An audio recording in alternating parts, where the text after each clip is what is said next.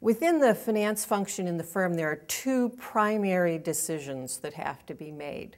First, what projects do we invest in? And second, how do we raise the money to undertake those projects? It takes capital, in other words, money, to undertake any project. That money comes from investors, and those investors expect to earn a return on their investment.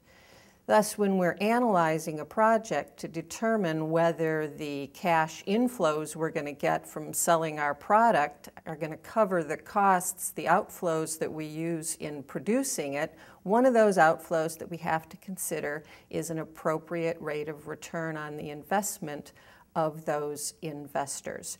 A project should not be undertaken unless it's expected to cover the cost of the return to those investors. With respect to raising the money, financing our project, there's really two issues. One is the timing of the cash flow. The other is the form in which we raise it. With respect to timing, it's a fact of life that in producing something, most of the cash outflows associated with producing it have to happen before we get any cash inflows from selling it.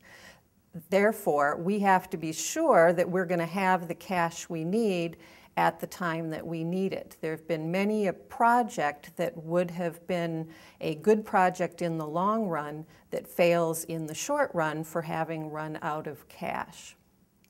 Once we've decided on how much we need and when we need it, then the remaining question is, so what form do we want to raise it in?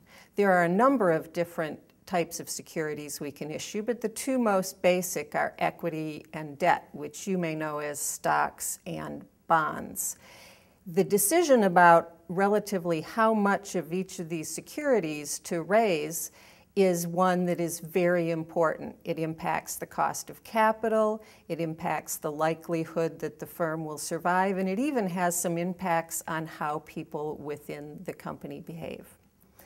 I've been teaching finance for almost 20 years now, and I still find it to be a fascinating topic. I've also found over those years that students like you who have backgrounds in engineering and science and other quantitative subjects tend to be especially adept at finance and to enjoy it especially well.